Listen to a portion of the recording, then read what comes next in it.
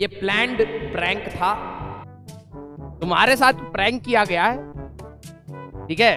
कुछ बच्चे तो सोच रहे होंगे इसमें, क्योंकि आज नई शुरुआत होनी है रे ऑप्टिक्स वाली। कुछ बच्चे सोच रहे होंगे। अरे भाई, आज तो बहुत अच्छे से नई शुरुआत करूँगा। रिबन भी नया लाया हूँ, कैंची भी नया लाया हूँ। आज तो बेटा काटूँगा ही, है? जैसे लेक्चर खोलूँगा अरे राजवन सर ऑप्टिक्स पढ़ा दी है क्या? हम इतना लेट हो गए हैं क्या? है? कई लोगों की तो हालत टाइट हो गई, अरे, ये क्या हो गया भाई? आज तो सोचे थे माहौल बनाए थे कि आज तो हम पढ़ना स्टार्ट करेंगे, हैं?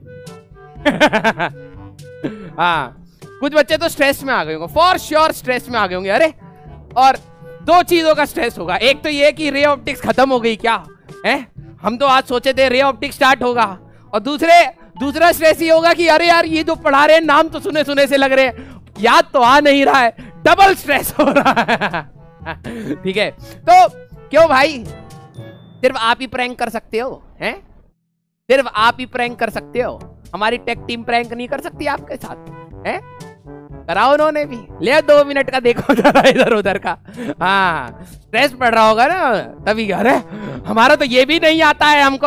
और राजवंश सर कहाँ चलेगा जी? आज आप स्टार्ट करना था जी, है ना? चलिए कोई नहीं। तो बेटा आज हम लोग बहुत नहीं शुरुआत करने वाले हैं ठीक है? हाँ ये प्लैंड प्रैंक था ठीक है? मेरी तरफ़ से प्लैंड था कि थोड़ी देर के लिए दूसरी क्लास में भेज दिया जाए बच्चों को ठीक है? अचानक से नया टीचर आ जाए पढ़ाने वो भी वो सीरियस पढ़ा रहे हो ठीक है? बच्चे कह रहे अरे अरे बाप रे बाप आज तो हम अपना फिजिक्स पढ़ने आए थे आज तो माहौल बना था है? ठीक है?